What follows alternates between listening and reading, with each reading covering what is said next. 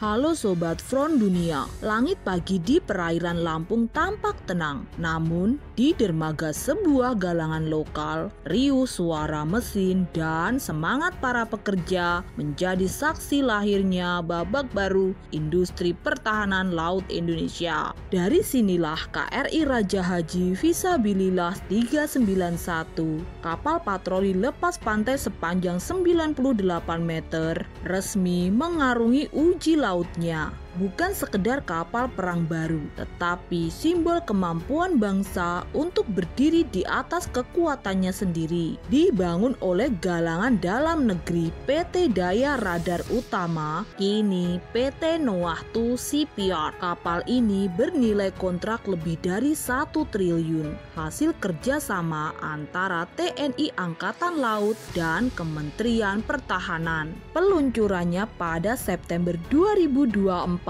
menjadi tonggak bersejarah menandai keberhasilan Indonesia membangun kapal kombatan besar sepenuhnya di tanah air. Secara teknis, OPV 98 meter ini memiliki kecepatan maksimal 28 knot, dilengkapi radar multifungsi serta ruang peluncur vertikal atau VLS yang disiapkan untuk rudal anti kapal dan jelajah darat. Bobot penuh kapal mencapai 2100 ton, menjadikannya salah satu kapal patroli terbesar yang pernah dibuat di Indonesia. Sistem senjatanya meliputi meriam 76 mm, 40 mm, dan 20 mm serta kemungkinan integrasi rudal Atmaka dari Turki di masa depan.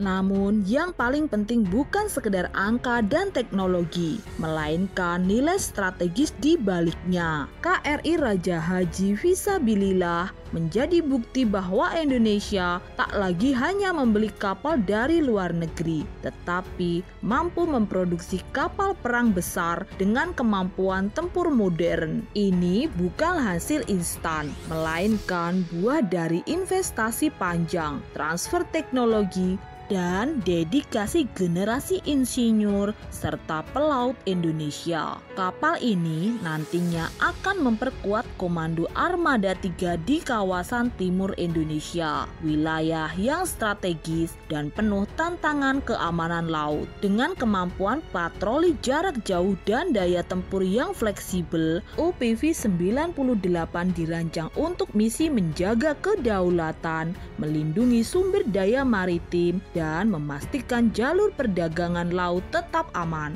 Jadi, KRI Raja Haji Visabilillah bukan sekedar kapal senilai triliunan rupiah, melainkan pernyataan sikap bahwa Indonesia telah beranjak dari sekedar konsumen menjadi produsen pertahanan maritim. Kapal ini adalah lambang kemandirian industri, simbol kepercayaan diri bangsa, dan langkah nyata menuju poros maritim dunia. Sobat Front Dunia, bagaimana pendapatmu tentang lahirnya kapal perang karya anak bangsa ini? Apakah ini pertanda bahwa Indonesia benar-benar siap mandiri di bidang pertahanan laut? Tulis pendapatmu di kolom komentar.